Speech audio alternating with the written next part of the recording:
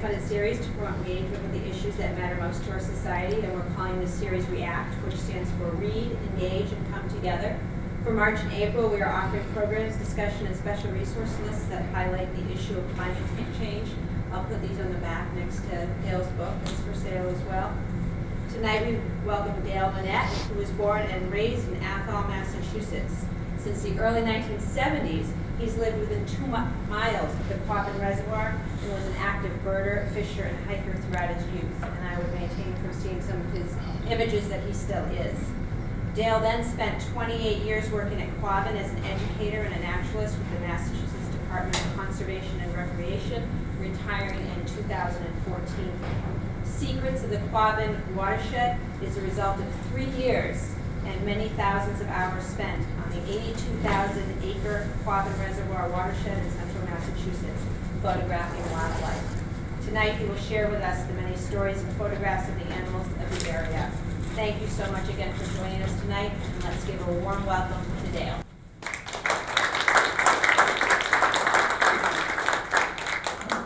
Well, thanks everybody for coming down tonight. Um, anybody here been to the Quabbin? Are you familiar with the Quabbin? Anybody that uh, that's not familiar with the Quabbin?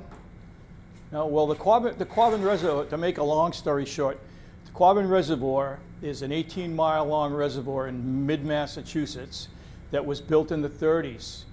And they took four towns and they totally destroyed them. They cut down all the trees. Um, they took down, they, they um, disinterred, let's see, was this 40, 4,600 graves. They moved out 38 graveyards.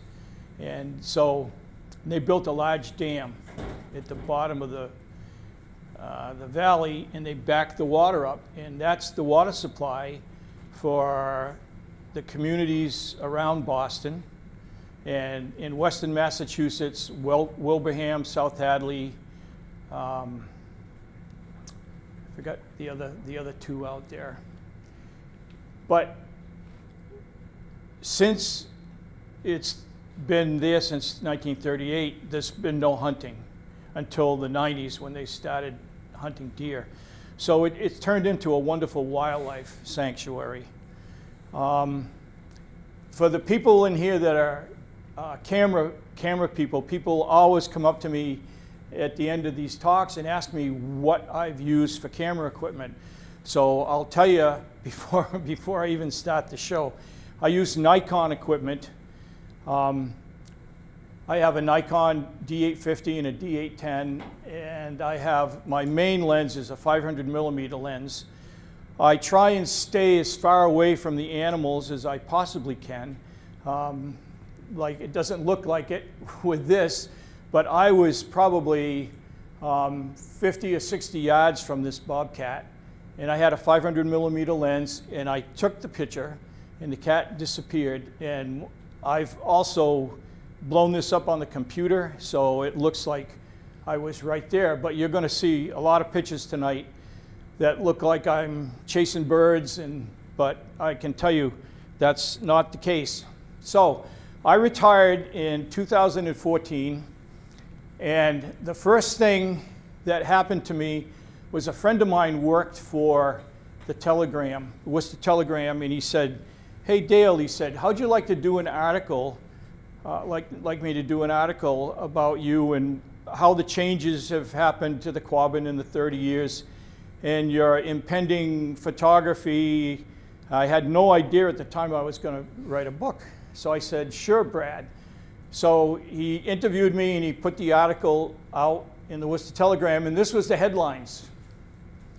So I called him up and I said, hey, Brad, I said, what's this free range photographer, you know? Well, he says, I didn't do that. He says, the, the editor did it. So I got to thinking about it and I thought, well, I might as well come clean. If I'm a free range photographer, I have no antibiotics, no added vitamins, and no growth hormones. And then people always say to me, how, how do you get these pitches? How do you do this, you know?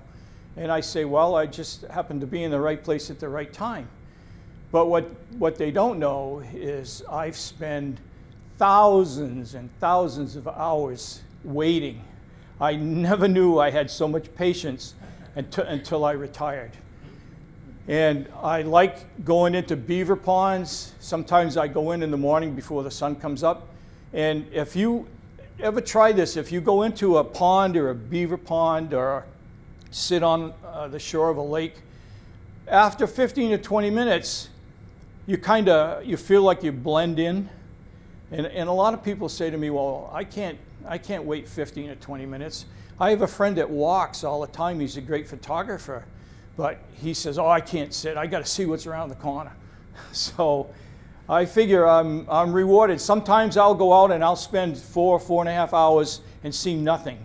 And sometimes I'll go out and I'll come, come out there four hours later and I've got four or 500 pitches to go through. So I saw this by Ralph Waldo Emerson and I thought, I'm going to have that tattooed across my forehead. So we'll start in the spring. So we're at the Quabbin, and this is the Munson Turnpike Road that goes on the eastern side of the reservoir. You can see it's, it was, you know, taken up in the 30s, and that is what they call Soapstone Mountain. And you can look south and you can, you can climb up there and you get a heck of a view. And I like to spend a lot of time in beaver ponds. And this is what you see if you're at the Quabbin now, actually anywhere in Massachusetts. These animals, you can see them up here tonight, but they're all over Massachusetts. So you can just take everything that I tell you tonight and just extrapolate it out to your areas, and there you go. So I'm going to talk about beavers first. I love beavers. They weigh between 30 and 50 pounds. They're North America's largest rodent. The capybara in South America is the largest. They range from two to th three feet long. They've got shiny guard hairs covering, they have two different types of fur. They've got long guard hairs, as you can see, on the outside, and then they've got real thick fur underneath. They can stay underwater for 15 minutes. And the one that amazed me is the beavers have 77,000 hairs per square inch. And, and that's one reason why they can stay under the water when it's really cold. And when I saw that, I thought, wow, who the heck ever came up with that? How did they figure that out? and there was one beaver clan that I got to uh, hang out around, and I was in there so much.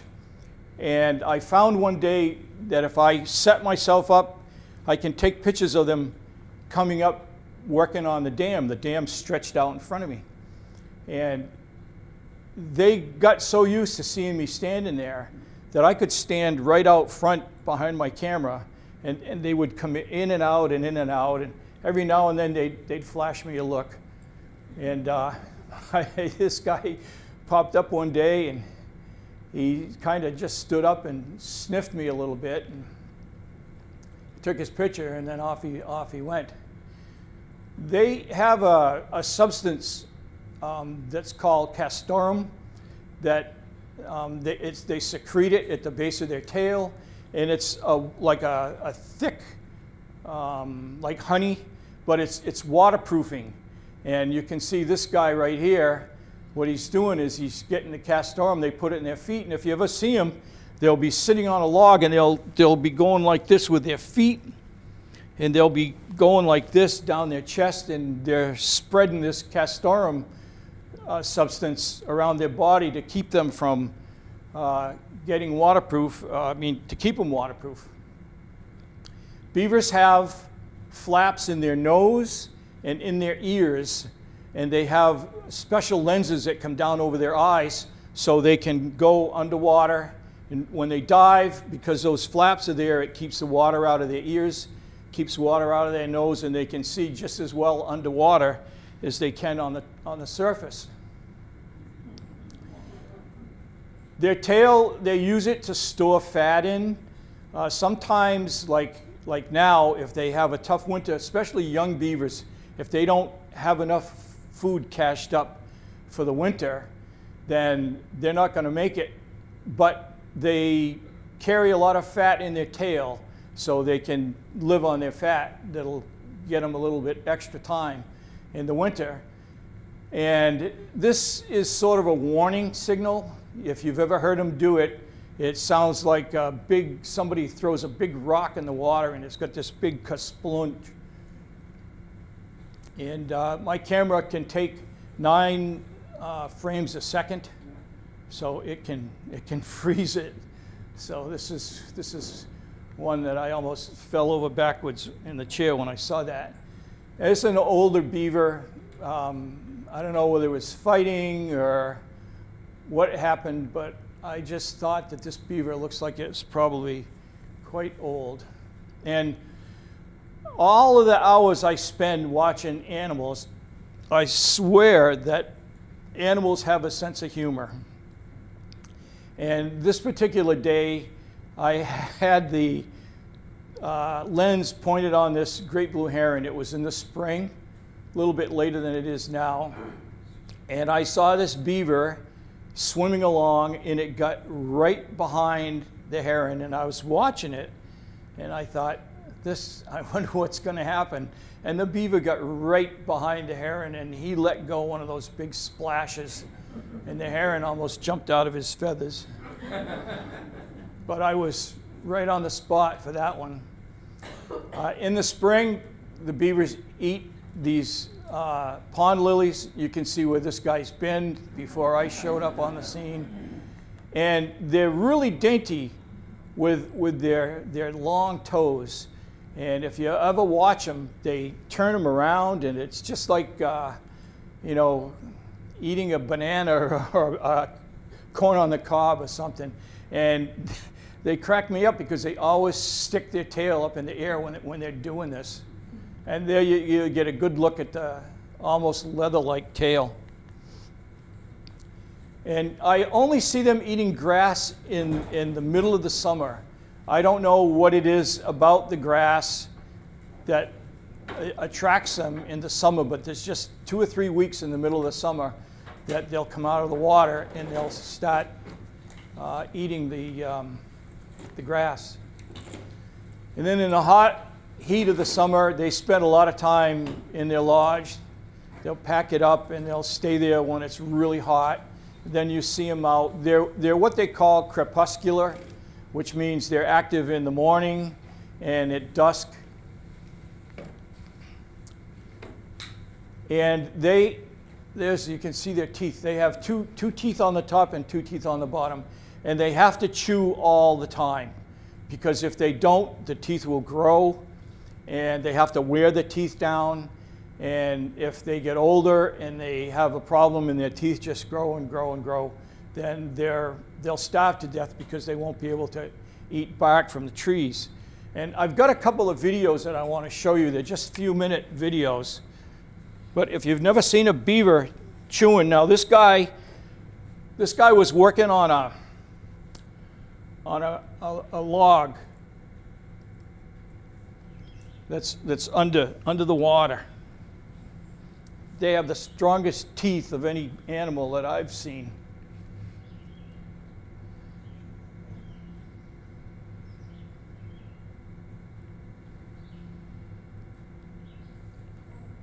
Watch this.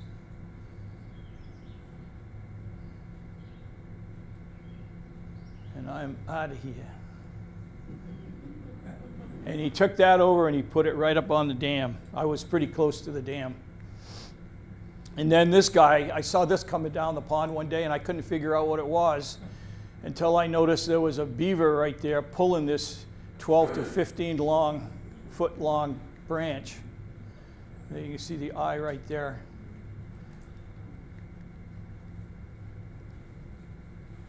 So when somebody says, well, you must be busy as a beaver, you can't take that as a compliment because the, these guys never stop. And in the fall, you'll see them doing this. They pack, they get their, um, their lodge all ready for the winter. They pack mud up there. And when I was a kid, it was a, a, a myth that the beavers used to pack mud on their tail and you know swim around with it, but they don't. They carry that with their feet in their mouths, and they put it. They fill in all the holes to keep the cold air out, and they also will cut twigs and um, small trees, and they'll bring them in and they'll put them right next to the lodge, and they call this caching.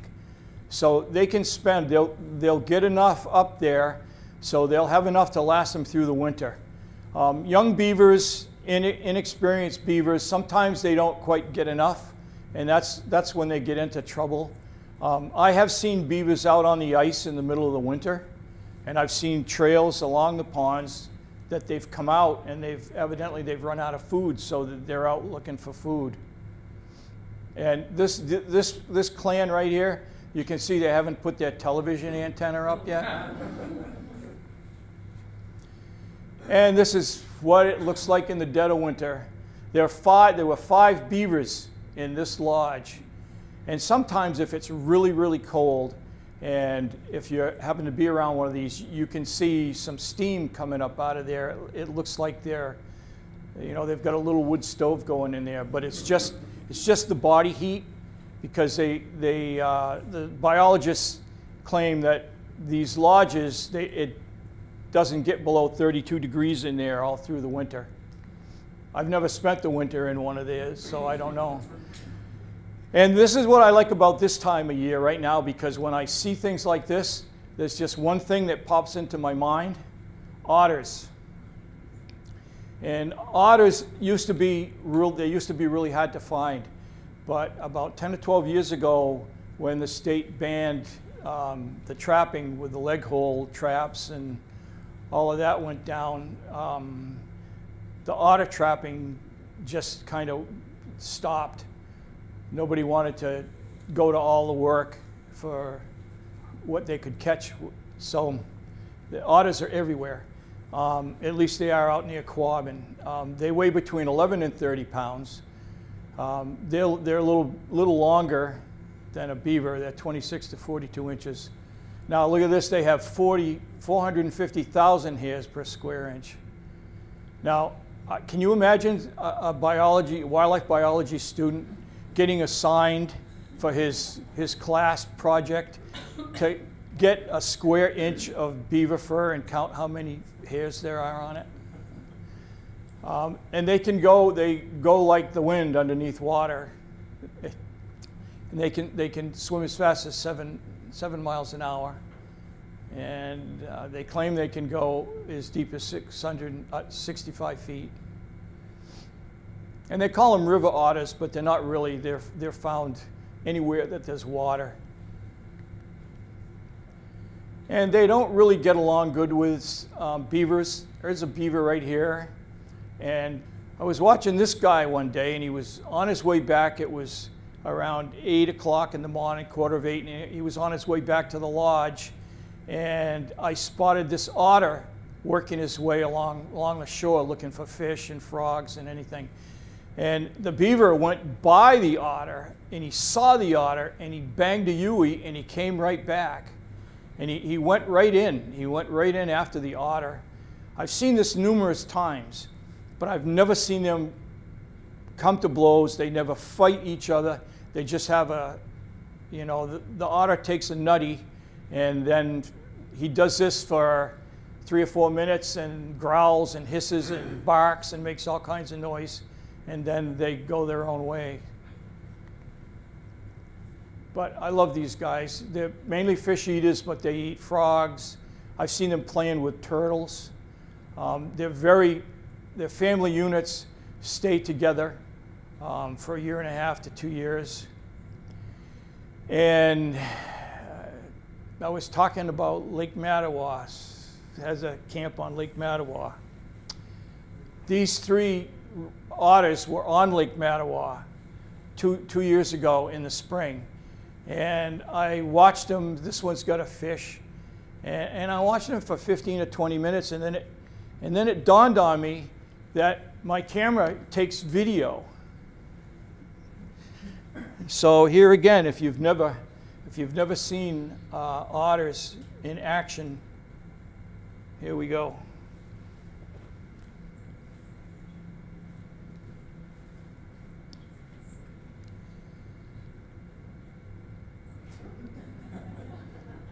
It's not fun to eat alone, especially when you have two brothers.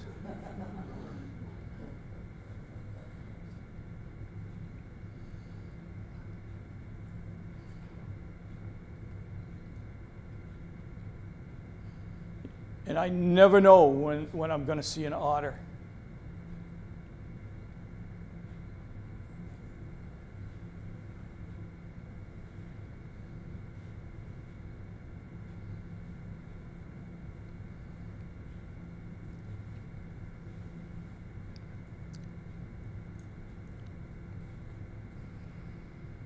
It was a car, that flash was a car that just went by. Well, not really. It, it just, it's the way the sun was. And I was probably, where they were, I was probably 100 yards from the road.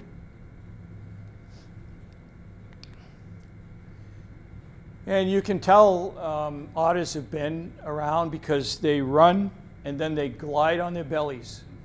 Then they run and they slide on their bellies.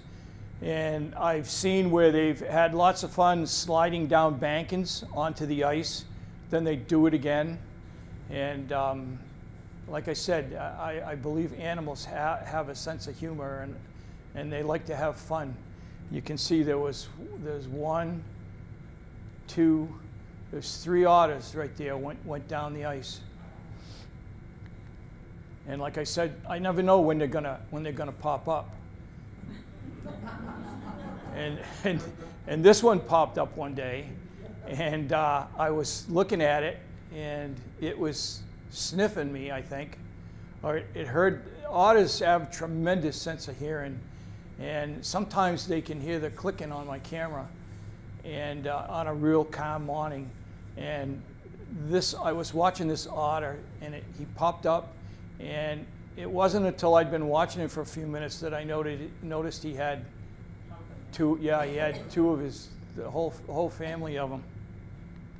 And then this, I took this picture last, last spring. I was um, taking pictures of some great blue herons. And I didn't see this otter coming, and all of a sudden he started barking at me. And I, I, I was up on a little bit of a hill, probably 25, 30 feet up from the water, and I looked down and he just, it was, it was just like a dog. They got a high-pitched dog, like a uh, bark like a small dog. And he yipped and yipped a couple times, and then he turned around and just off he went. And I think this is the same otter that I just showed you that had the three young with it. It's the same pond in the same place, only I was taking pictures of this great blue heron. And, and he, po- he, he, po- he popped up. Yeah. Oh, I get photobombed all the time doing this. And every now and then I have the feeling somebody's watching me. And I love these great blue herons too. They, they, weigh five to six pounds. Their bones are hollow. Their wingspan is seven feet. Um, they're just starting to come back now. People are just starting to see them. I have yet to see one, but there's three or four ponds that I watch and, and they're what they call colonial nesters because they like to nest in a colony. Um, you must all be familiar with the one down on Route 2 going into Boston. Well, that's, that's what they're like. But they're not that many out there. There's, there's one, one pair that I've been watching, and it's just the two of them for every year. There's two of them. But they have what they call monocular vision if you've ever tried to sneak up on them. And what monocular vision means that one eye can look this way and the other eye can look that way. So they can, they can see what's coming on e either side of them. Owls have the, have the, same, the same type of uh, setup. And because they can, uh, like the way this guy's got his neck all crunched down, they have uh, special vertebrae in their neck that allows them to, to do this. And this is the pair I was just mentioning. These are the only ones here. And this was the first week of April last year. Um, I watched these birds from the first day they showed up. Uh, I wouldn't go in every day, but I was about 120 yards away from these guys. And they never, all the pictures I took of them, they, they never knew I was up there. And uh, the males always bring the sticks in to the female, and the females always put the nest, the, the sticks in the nest, and they do this little ritual dance that they do when, when the male hands the stick over to the female, and then and then she'll put it where she wants to put it. Um, couple, well, let's see, this would probably be into May, and th- these these chicks would be probably two weeks old, and it's really fun to watch them get older and older. Um, you can get some spectacular pictures of the herons coming in to feed them, and they don't carry frogs and snakes live into the nest. Um, they catch them, they swallow them, and they regurgitate them when they come back into the nest like this. And the, the, uh, the chicks go wacky. And, and the, big, the bigger they are, the more racket. And, and the shorter the amount of time the adult stand, you can see the, one of the adults right there. And these kids are all fighting over what she just barfed all over the nest. but uh, I'm really surprised that uh, some adult herons don't lose their eyesight because these guys, and you can hear them, you can hear them from, you know, a half, three quarters of a mile from the pond. You can tell there's a heron, heron nest being fed. There was a heronry in the late 80s. There were 52 nests in it, and I went in to see it a couple times, and it was it was just deafening. And it takes them probably 12 to 14 weeks to learn how to fly, and they're very rickety, and they get up and they do stuff like this. And once these birds um, leave the nest, the adults will not feed them. So if they leave a nest, they, in order to get fed, they have to figure out how to get back up into the nest, which they usually do. I've seen them leave the nest, but I've never hung around long enough to see how they get how they get back up in.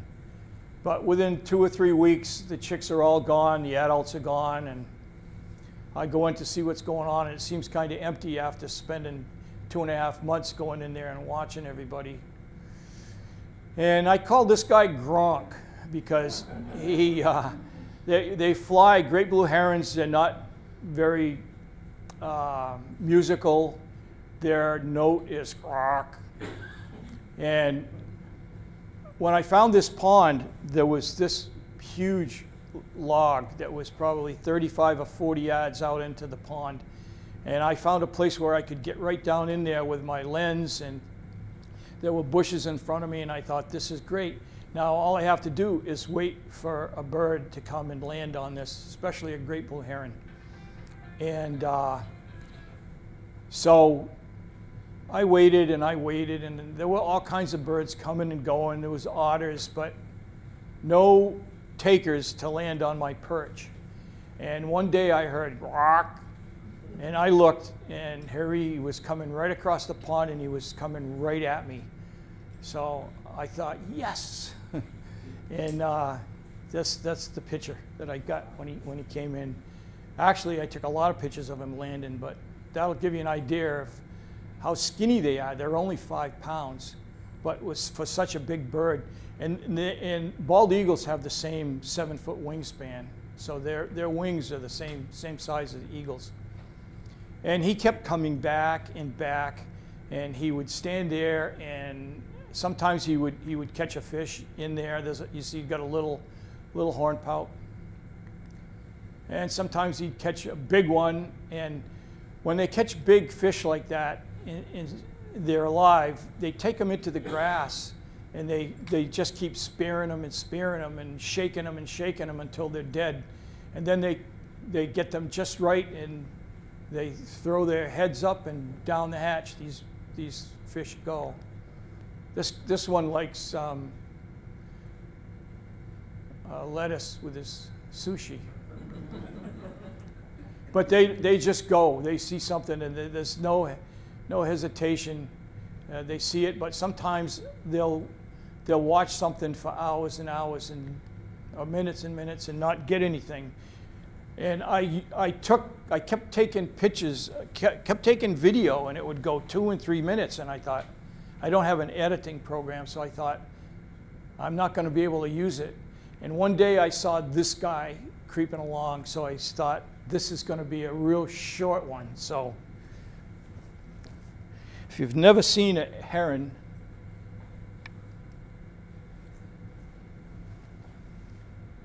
I love this.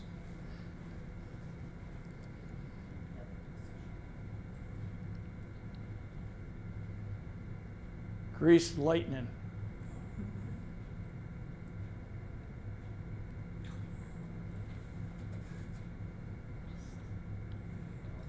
Down the hatch. You know what? I love that. I got to see that again.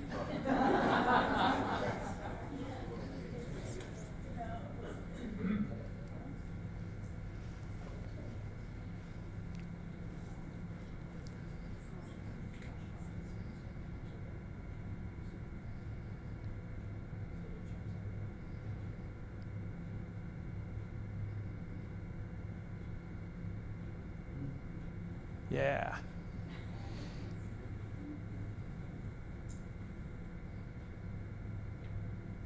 And what they usually do is they'll, they'll spend uh, a couple hours in the morning feeding, and then they'll find a place in the sun and they'll snooze. Sometimes they'll snooze an hour, sometimes they'll snooze an hour and a half, and they preen. Herons and egrets, they spend hours and hours and hours just sitting there, just preening their feathers.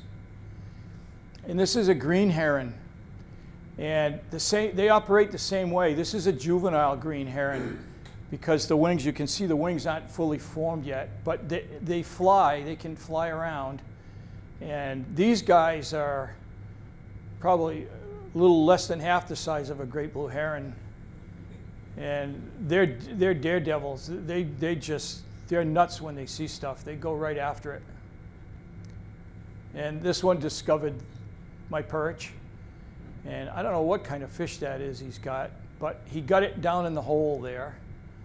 And then he get up and when you catch a fish, it's never good to wave around your catch when there's otters around because like I said, I never know when I'm going to see an otter. And this is a fully a full adult green heron. And this bird sat in front of me for 45 minutes preening. Every little feather I watched, every edge of the feather, they would, they would pull their beak down. I mean, look, look at how, how, how he's picking that right down. If you've ever seen a bird's feather, they got like little zippers on them.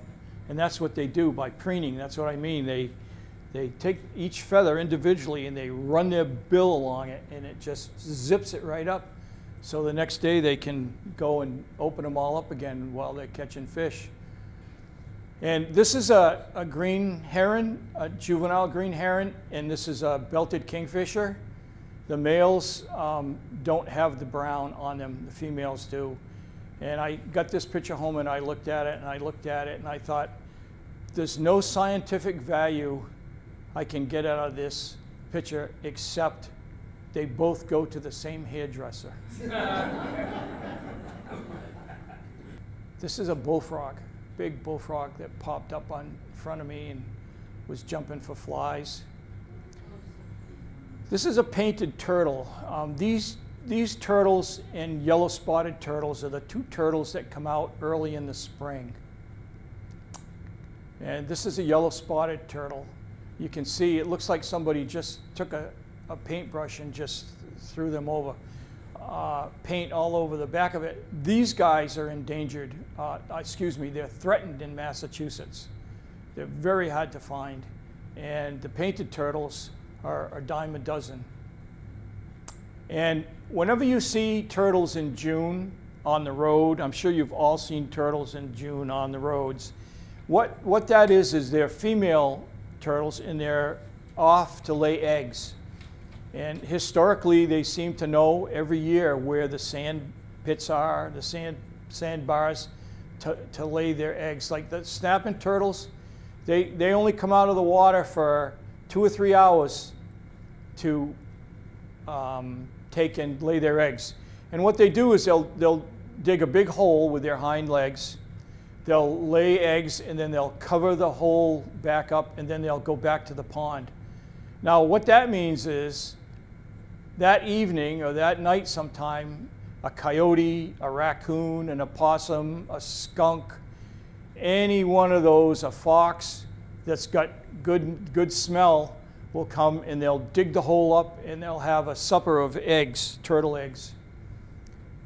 But they don't get them all. So that's why the turtle species keep, you know, um, recruiting young ones every year. And there's a pair of them. This was in a cemetery. And uh, let's see, this one, this one came in just as that one was leaving. I felt like I needed to be a traffic cop. And there's another, this is a, a bumblebee um, on, a, on a mullein plant. And it was, I thought I'd just take a picture with a 500 millimeter lens and see what it comes out like. So there, there it is. You see, he's get the pollen. Um, I, am not really good on bumblebees. Um, I don't know how many species there are in Massachusetts. I, I should probably learn it. And this is a, a fritillary, what they call a fritillary. I got a, I bought a new, uh, what they call a new micro lens this summer, and you can take pictures close up like this. And I went nuts for a week or so taking pictures of everything including my cats. I had pictures of my cat's eyes and the hair in my cat's ears. And, and this is the most common dragonfly in the United States. This is called a blue dasher. And this is a kingfisher. Early in the morning, the best time to take pictures as far as I'm concerned is early in the morning when the sun is coming up. Uh, a lot of, a lot of photographers call it the golden hour. And there's a pair of hummingbirds that come in. There's a whole patch of jewelweed, and it's right on the shore of one of these ponds where the beavers are located that I go to, to photograph. And this female kept landing on the same, the same place. So when things were slow, I would just set, set the um, camera up, he headed right on this and it wasn't long before she'd, she'd show up. And I have quite a few, taken quite a few pictures on, on this log also. This is a, a stump out in the water.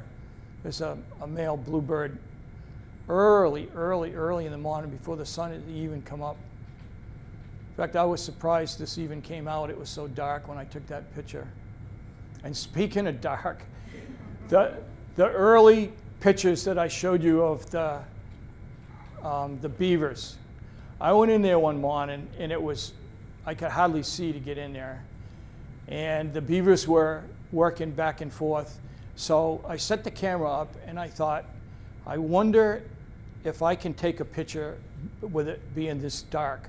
So I had a pen light with me and so I set everything up and I took a picture right here, minus the raccoon. And I looked at the picture in the, in the back of the camera and I was amazed at how, how light it was.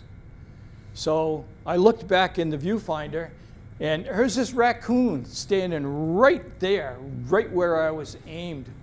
So I have a, I use a cable release, um, which is a wire that connects up to the camera and it's a button on your hand and it saves, especially in, in real uh, dark situations, where your shutter speed is so slow, it'll, it'll save the wiggling of the camera of you pushing down on your finger. Uh, even on the tripod, it'll, it'll rumble it a little. So I've got this cable release that eliminates that. And this, this raccoon, I, I took one picture and that was it. And uh, when I got home, I was kind of surprised that it came out the way it did for being almost pitch dark. There's a mink, um, the weasel family, got that little, little white chin. Um, they're nasty animals. They eat anything frogs, small animals, small birds. I was watching one this past fall. The water was down at the Quabbin. I was in the Quabbin, and the water was down quite a ways, and I was in this little cove, and I saw a mink come out of the woods, and it came down and it ran around the ice in front of me, and it crossed and it went up the hill behind me. So a couple days later, I was in the same spot, and I had my camera set up, and I caught something out of the corner of my eye, and I've, I've learned, I, this is one of the first things I learned was never move quick. You know, like if you're taking pictures and something comes flying in, if you go quick for your camera, it's going to go. So I, I saw this thing coming down the, the banking, and so I turned my head around slowly, and it was the mink. And he was coming right for me. And I had a camouflage jacket on, and I had some camo pants on, and it was really cold. And uh, that mink came down, and it went, it went right under my tripod and right out the other side and out onto the ice. And uh, I just, I, I just shook my head. I couldn't believe it. And this is a little muskrat eating an acorn. Popped up and said, "Hey, take my picture." I said, "Okay." This is a porcupine on a bad hair day. This was a young one. Um, I was taking some pictures of bears, and uh, the manager of the orchard knew I was in there. They gave me permission to go in, and he said to me, "If you see any porcupines, he says, let us know." He says, "We trap them and get out, get them out of there." So I was standing on on the edge of the the orchard, and I heard some noise behind me, and I turned around and looked, and this little guy was climbing up this cherry tree, red cherry tree, and he kept getting higher and higher and higher. So I, I walked out front, turned around, took his picture. This is a baby chipmunk. This wall, this wall that, that is on, it's in a cemetery. A lot of my ancestors buried in this in this cemetery. So I was in there one afternoon and I was all done taking pictures and I was looking at gravestones. And there was an elderly woman that had been feeding birds um, on the end of the wall in a crabapple tree. And I noticed when I got there, one of the feeders was on the ground and there was a red squirrel in it feeding. So I didn't think any more of it. A little while later, I noticed that there were chipmunks running back and forth on the wall. So,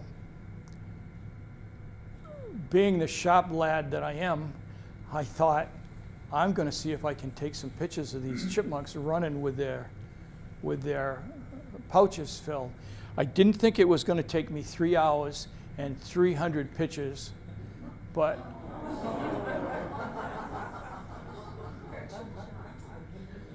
and I, I noticed by what I started I started up against the wall taking the pictures and they would come down the wall towards me and they'd get about 20 feet ahead of me and they'd go down on the other side of the wall and and they'd run over the wall and then they'd come back up on the wall behind me and they'd continue on so I started moving further and further out into the road until they were going back and forth but it took me about an hour before I realized that they were, they were running down the wall on the same track that they were coming back on. It was like a road.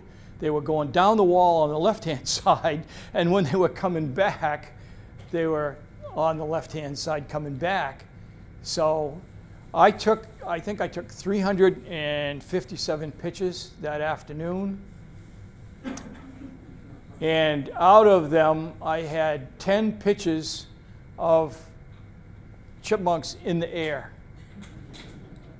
And uh, no, I take it back. I had 25 pitches of them in the air. And there was always something wrong with one of them. There were either the, the eyes were blurry, the feet were blurry, the tail was blurry, but I had five that were that were pretty good.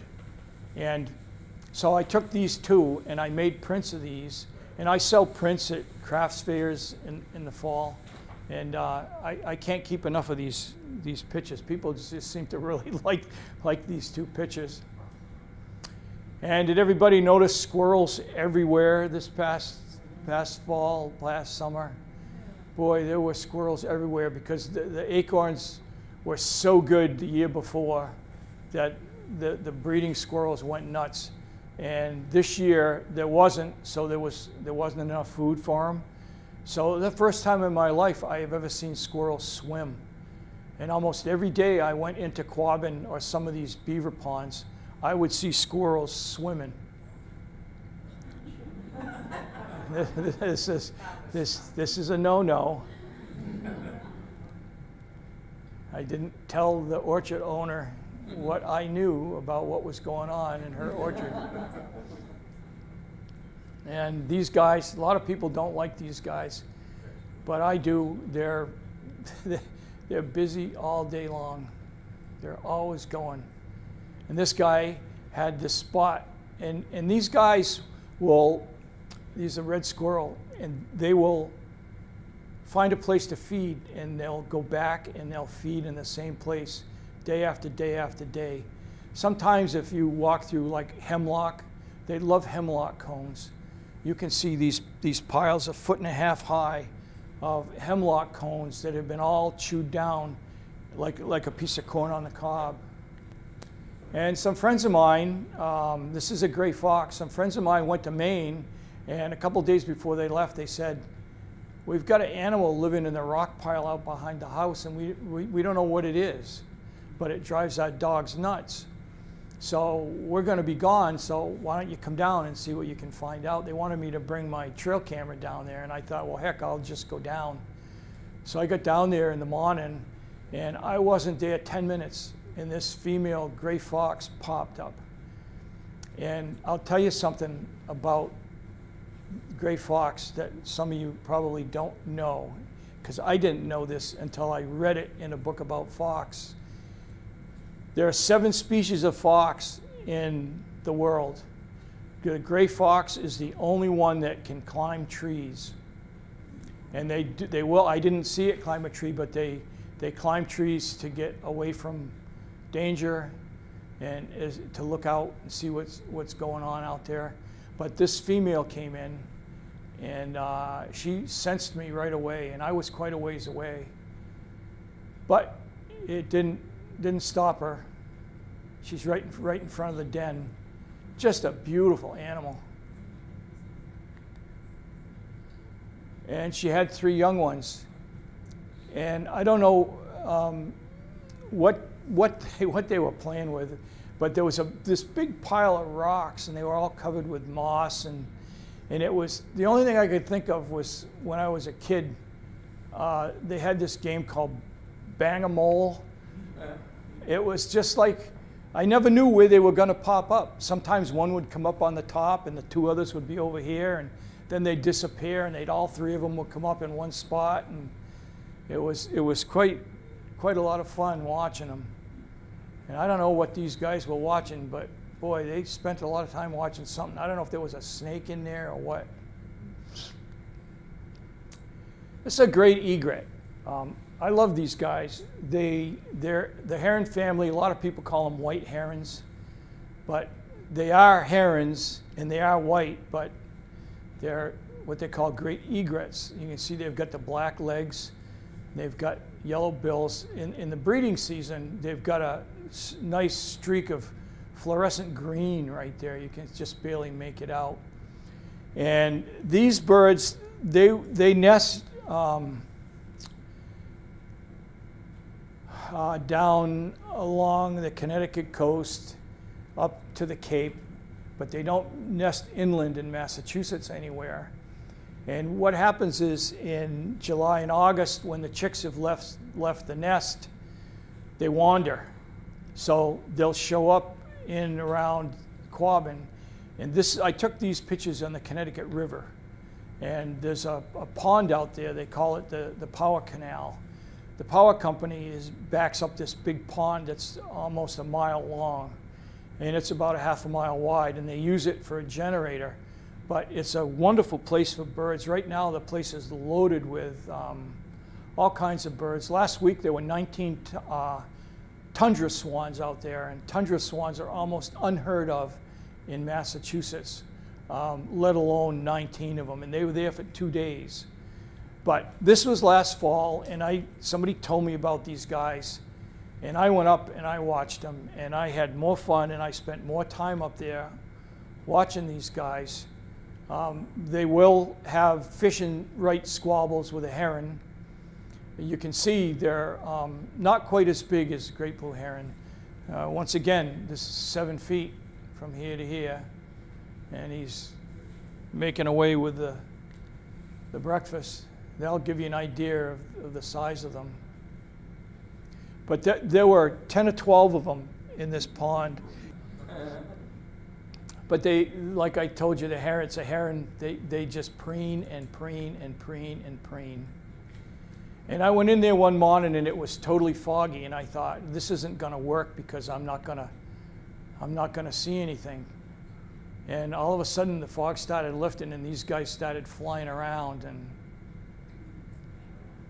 it was, it was a fun time. Wood ducks, a female wood duck, she popped up in front of me, took a picture. Next day, the male popped up in front of me, took his picture.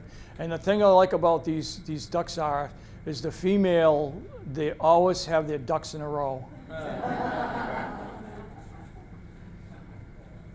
geese, Canada geese, they're everywhere out there now. They're migrating. This guy right here comes back to the same pond. I know it's the same goose because he's got that band every year. This is this will be if he comes back this year. This will be the fifth year in a row. They nest on beaver lodges. There's three or four beaver lodges in this pond, and the last two years they've used the same exact spot. And this was from two years ago. Um, this uh, hooded mergansers, these are coming around right now. They're small, small ducks. They do nest here. Um, right now, there's a lot of them on the Connecticut River. Any place you've got open water, you can find these guys now. The males are just beautiful. And that's a female with her drowned rats. They, these, these birds, these chicks were underwater constantly. You can look at them, I mean, they're just soaking wet. She doesn't look like she's too happy. Probably because she just came from the hairdresser. Don't get my hair wet. This is, uh, these are um, common mergansers. These are a couple of males. And these guys went by me, and I couldn't figure out what, what they were arguing about. But then I saw Mrs. Merganser, and I see she just came from the hairdresser, and she's had her lipstick on. And these uh, females have a trait, what they, they call nest dumping. And if, say, this female is on a nest and she's got 10, they have lots of eggs. If she's got eight or nine eggs, 10 eggs, she leaves the nest for something. Another female common merganser will come by and she'll say, hmm, a nest. So she'll drop on and she'll drop in six or eight eggs and then she'll leave. So this one comes back. Now she's got 16 or 18 eggs to hatch. Um, ducks don't feed their chicks individually like robins do. Once the ducks hatch, they're on their own. Immediately, they're on their own. They instinctively know what, what to get. Um, but one day I was sitting along the shore and I saw um, a female coming. And they also, they will also, if a female has got 10 or 12 chicks and she sees this female with 10 or 12 chicks, she'll drive up. So, uh, yeah, she'll drive up. She'll swim up so all the chicks intermingle. And then she'll say, I've had enough of this. I'm out of here. And that's when you get um, the, the, there she is with chicks. That's when you get things like this. But this right here. There's, there's 31 chicks in this. And you can see there's, there's three different age classes in there. I mean, this guy is pretty big. Um, there's some little ones, and that one's a little bigger one. And, and here they are in the fall, nothing but young thugs chasing minnows. And loons, I love the loons. Um, we do have common loons. Lisa didn't realize that they were there, but I'm, I've always, they have a, a loon program where they monitor the loons at Quabbin every summer, and they do it from May until September 1st. They're very territorial, so we know where they're going to be, and they come back to the same territories every year. Um, the males weigh between 13 and 15 pounds. Females are a little smaller. Their wingspan is four feet. They have webbed feet that are so far in the back that they can't walk. They push themselves along on their belly. And I'll explain that in a minute. Um, they, they stay, they show up early now. There's loons probably at the Quabbin right now because there's a lot of open water. And they'll stay until December. I've seen loons eh, the second or third week of December there.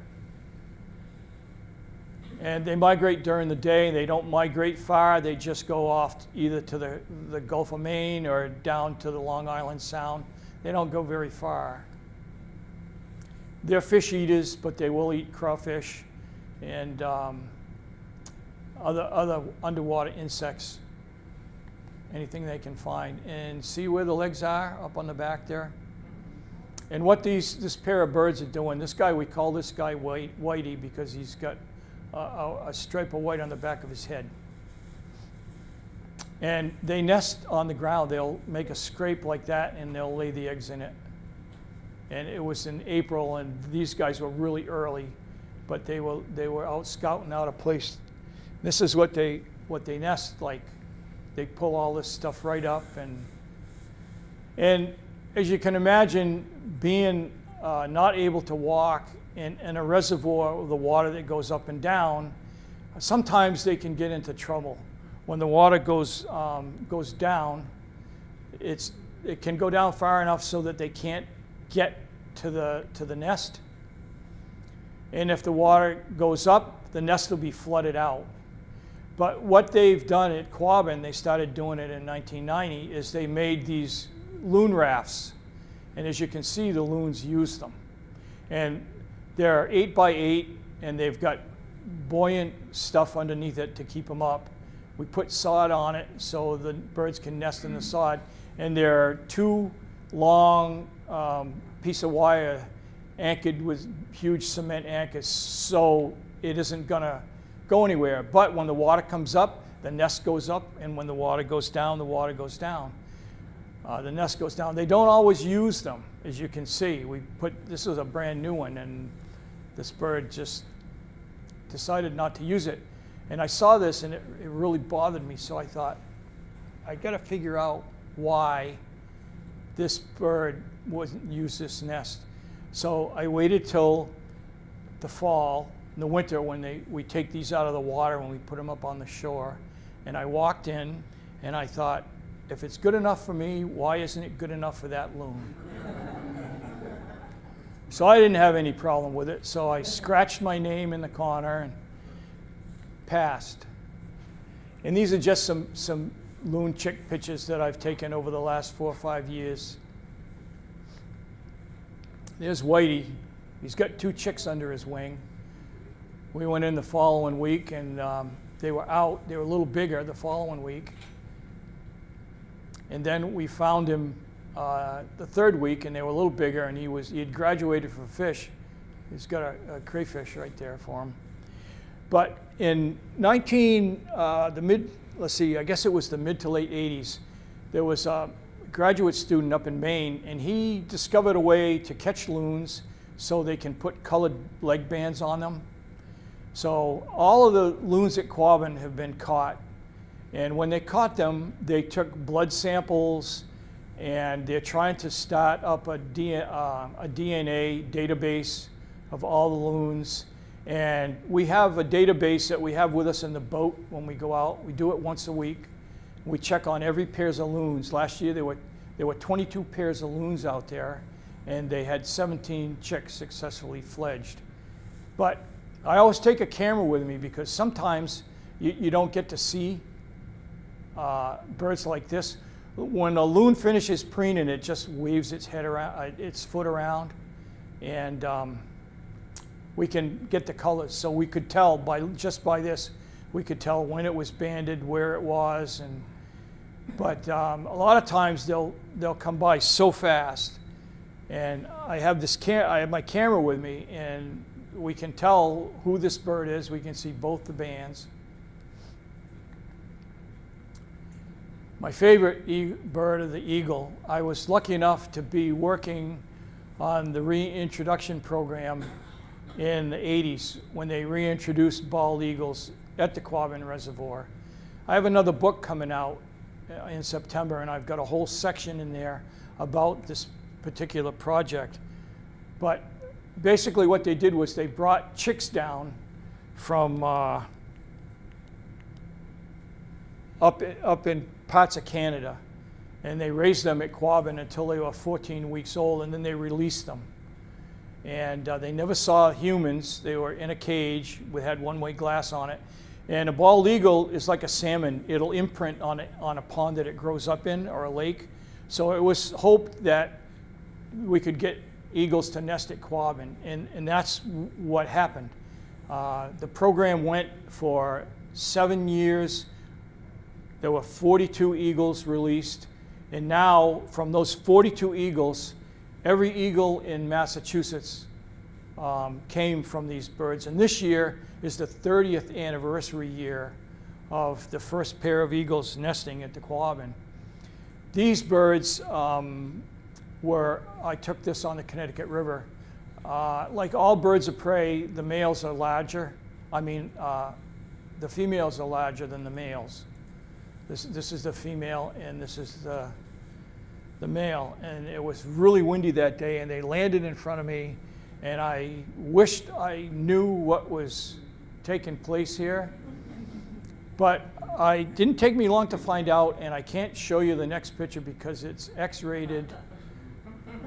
Um, and here's one of the nests at Quabbin. There's a chick right there that you can see. It takes a bald eagle four and a half to five years for the head and tail to turn white. And when the head and tail is white, then it, it's sexually mature. Eagles are sitting on eggs right now. They'll hatch sometimes in, in April. When the chicks get to be 12, 14 weeks old, they leave the nest, but they don't go far. They just hang around, just like teenagers, and they let mom and dad bring all the food into them. By the end of the summer, they're out harassing all their adult, all their parents, still wanting food. And this is a young one that hadn't quite left the nest yet. Look at the claws on that bird. Fish and Wildlife, they climb the trees. They know where every pair is in Quabbin. And every year they send somebody up the tree and they send the bird down in a sack. They give it um, physical and they put leg bands on it. They take blood samples. They take, you know, all kinds of samples from the bird to make sure that it's healthy. And this is a year-old bird. And if you see birds long enough, if you watch eagles long enough, you can tell what they look like every year. You know, young ones have a lot of white in them, and their, their beak is almost a, a dull green. And as it gets older, the, the, beak starts to get yellower and yellower. So by the time it's an adult bird, it's got a full, full yellow beak. This bird, you can't see it, but this bird's got a fish. This bird has got a fish. we were eating lunch one day and we were drifting the, in the quab, and It was a real calm day and I had my camera just sitting beside me and we were eating lunch and the, the, the guy that I did the loon projects with, he says, hey look, here comes an eagle. And it, it just came right by us. You can see the band on the leg right there also. And this pair of birds right now, I was in there yesterday morning. There's a bird sitting in the nest right now. And these birds nest, these birds have been on this island for 20 years. I don't know if they're the same birds, but they, they nest. There's a pair of eagles in this nest every year. And you can see them sitting up there. That's their favorite place to sit. And they're, they're sitting up there, and there's a pair of fox running across the ice. A lot of, a lot of barred owls lately have been down here because there was uh, so many chicks hatched last year, and now there's no food for them up there. So out in western Massachusetts, everywhere you looked, there were barred owls. People had barred owls sitting on their bird feeders, and I found these two or three eagles, uh, owls, I should say, that were around these three fields. And I spent all kinds of owl, hours taking pictures of these barred owls, catching mice and voles, and I learned a lot. It's a flying mousetrap.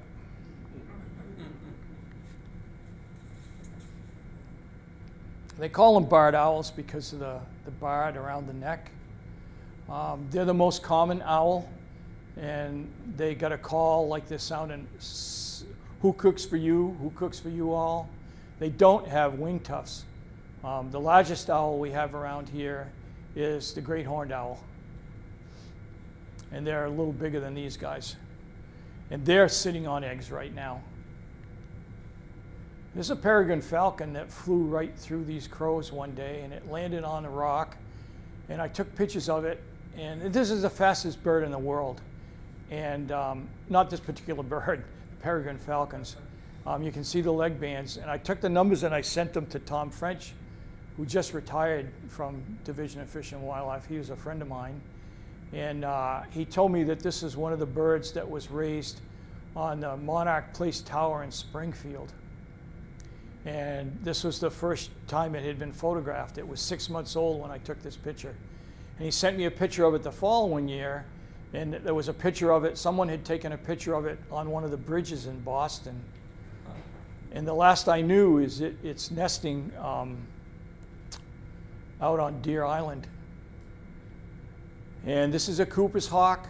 I was sitting on, under a tree one day, and this Cooper's hawk landed up here. It was in the migration. And there was chipmunks in the woods behind me, and all of a sudden he, he zeroed in on me, and I didn't know if he was going to hit me between the eyes or what he was going to do, but I was looking through the camera, and he came right at me, and I just held down on the shutter speed, and I think he was after the, one of the chipmunks, and he saw me at the last time, and he pulled up. All right, red-tailed, red-tailed hawk. It's a juvenile red-tailed red hawk. There's a pair of red-tailed hawks. Um, this is a red-shouldered hawk in the fall. Are some of the birds of prey that you can see around. These are out at Quabbin. Ospreys. Um, ospreys were almost extinct because of uh, all the DDT that the fish, they were spraying the fields, and same thing with the eagles. They were eating the fish, and it was affecting their uh, eggs. The, the, it affected the calcium in the birds, and the birds were laying the eggs, and the weight of the birds were cracking the eggs before they could hatch. And um, this is a young moose. There are quite a few moose out at Quabbin.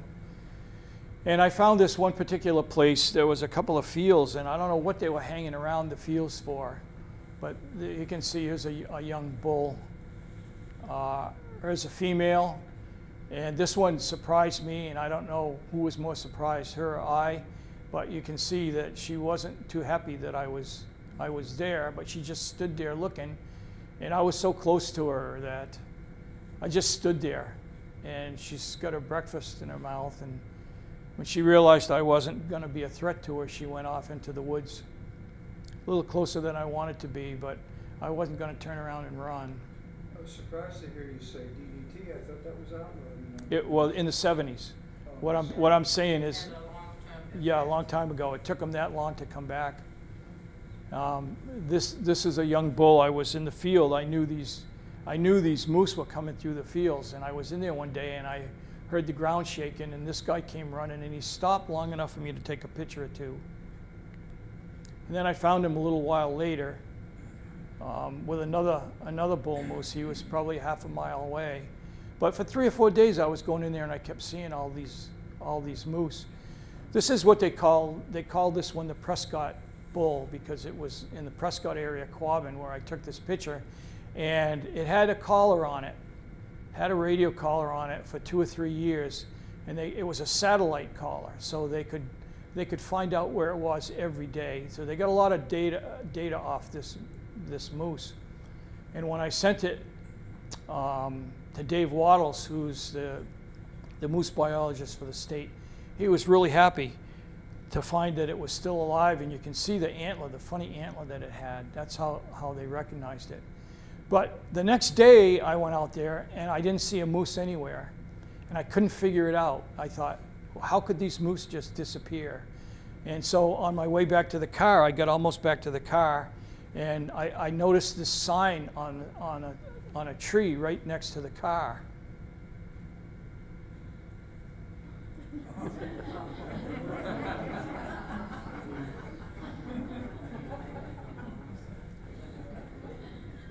So I just scratched, I just scratched my head, and even the deer were laughing at that one.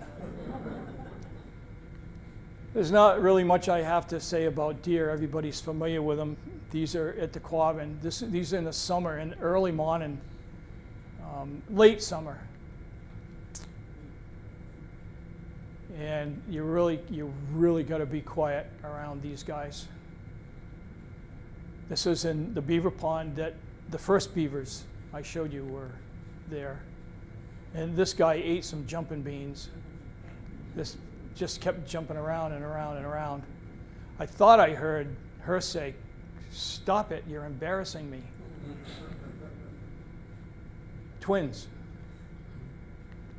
The tick population um, any damage to these animals? Um, not, not that we're aware of. Um, the moose um, are coming through theirs too. We haven't seen a lot of tick damage from the moose ticks. This is, this is a picture on the back of my cover uh, on my book. These two, there were three of them, and e almost every day the three of them would come out. This day there was just the two of them. But it don't take much to ha have, a, have a deer snoop you out.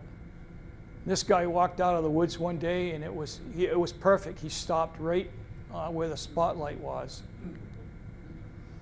Coyotes, um, there's quite a few coyotes out at Quabbin. I love, I love seeing coyotes. There's six of them crossing the ice in a little bit of a snowstorm. This was last year. There was, um, it was a deer carcass. Sometimes they chase deer onto the ice to kill them, sometimes, and they feed on them. Um, coyotes don't kill just for the fun of it. I've heard a lot of people say that.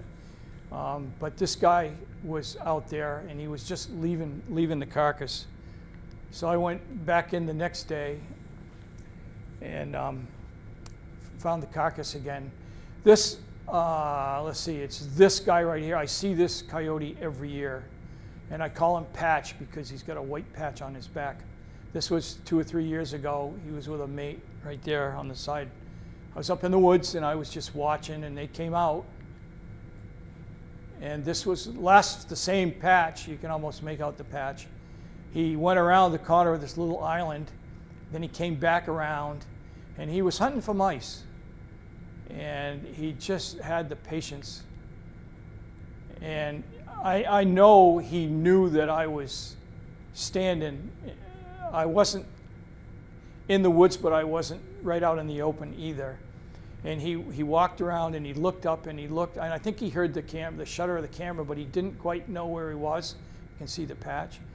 So he just he just decided that he was going to sit down and so how you doing dale? Haven't seen you in a year or so. Yeah, yeah well hey listen get my good side will you well i gotta go now. I'm hungry. There's one. Off you went. And here he is uh, two years ago. There's this, there's this patch right there, almost in the same spot I just showed you. This, this picture is in the book. And here he is not two months ago. Um, this, I don't know how this deer died on the ice.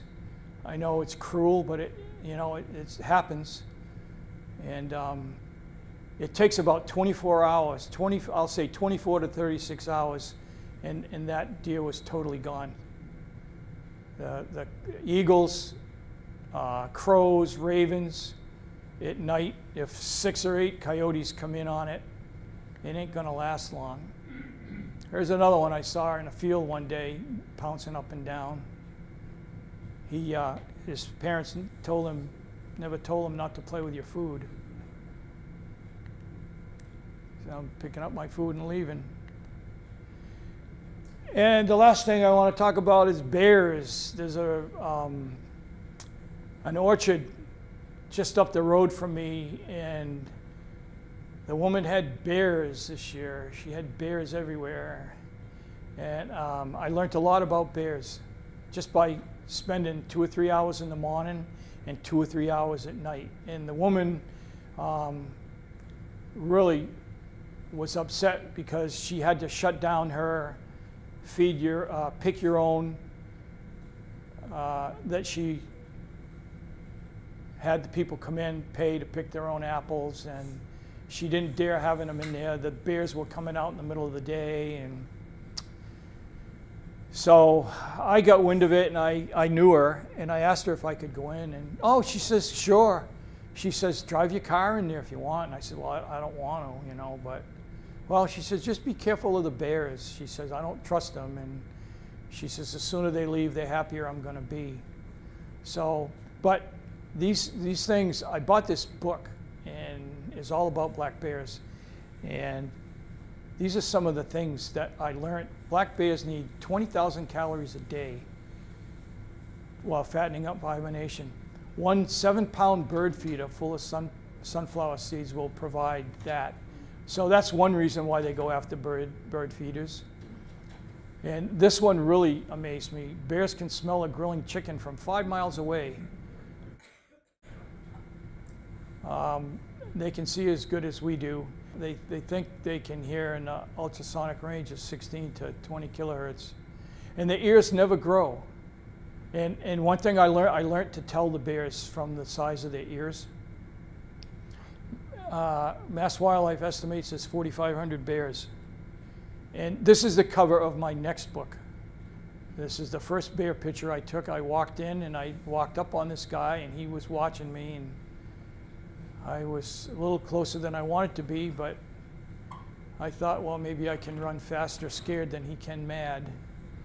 But I didn't need to. I, I, took, I took a picture of him and he just looked at me and picked up his apple, and off he went into the woods. This is a young one. Um, there was a female that had two cubs, and they were really funny because they'd come out of the woods and they would take their time. They'd really sneakily walk up to an apple that was on the ground. They'd grab the apple and then they'd take off and they'd run like hell back for the woods. See, he's got an apple hanging out of his mouth and there's one eating his apple, and this guy's making his plan. They're pretty, pretty good sized bears. And here again, I was, these bears, I was 80 to 100 yards away from these bears. Um, sometimes I think I, they knew I was there, but then I wondered because sometimes if a, a car would go by or if somebody would be walking by the orchard and they'd hear the voices, man, they'd be out of there. And here's the female. See, see the male, the, one of the cubs right there coming out. But she, she didn't see me, but she knew I was there. And I was, I was halfway up the orchard, and I was up behind a stone wall. And, and she seemed to sense I was there, and, and, and she left. And I walked in one morning in a pouring rain at 10 o'clock, not expecting to see any bears. And this bear was sitting there, and he turned around and he looked at me like, I had a hole in my head. And these are just some facts about bears, what, what they need and the, what, what they get in the wild. um, as opposed to what a jelly donut is 310 calories. A pound of cranberries is 166 calories. Peanut butter and jelly sandwich, 490 calories. 10 frames of bees and honey, 68,672 calories. And this guy, he just, he had some apples in mind and he didn't know whether he was gonna, what he was gonna do. And he just looked and looked and looked and then he stood there and he looked at me and he, I was way down the other end of the orchard. And finally, he realized I wasn't gonna be a threat to him and I thought he was gonna go for this one, but he had another one in mind. And he grabbed it and off he went they were really funny because they they really come out, they'd pussyfoot out, you know, and the minute they had that apple in the mouth, man, they were out of there, kind of like bank robbers. And this is a different bear. This has a radio collar on it. Um, this had this bear had two cubs with it also, but I got the numbers, the tags on the ear. Bobcats. One more thing. I'm talking too much. Um, they weigh between 19 and 22 pounds. A friend of mine told me that there was a, a deer carcass on the ice and there was a bobcat feeding on it. So I, I went in, and sure enough, and it, I, I watched it gnaw on the bones for 20 minutes or so. And this is the bobcat on the cover. And this is another bobcat crossing the ice with a squirrel we had a bobcat catch a squirrel right in front of us in our feeder last Saturday morning, and it was um, like greased lightning, and the cat was gone. So was the squirrel. Anyways, the last thing I wanted to tell you, um, ask you, is balloons um, are really not good for the habitat. They uh, animals get hung up in them. Um, they let them go. They, those helium balloons that, that you can buy and stop and shop, those mylar ones, those things last forever. And this picture right here shows you what can happen. Here's a bald eagle all tied up in a, in a balloon. I don't know how in the world he got tied up in it. And, and if, you, if you have any weddings or if you have daughters or that are getting married, talk them out of doing the balloons. Tell them about that picture or something. It's, they're really not good. And if you fish, pick up your monofilament line. And if you see other people with it, just pick it up and put it in your pocket. Here's a, a female merganser with monofilament line. I couldn't get to this duck. It was moving pretty good. I, I can only suspect that this duck died of starvation because it certainly couldn't open its bill. Anyways, thanks for listening and any questions? If I don't know the answers, uh, I, I just make up crap. yes? Question about coyotes, we Yep. them around here. Yeah. And every once in a while, on a limited night out here. Oh, yeah. They.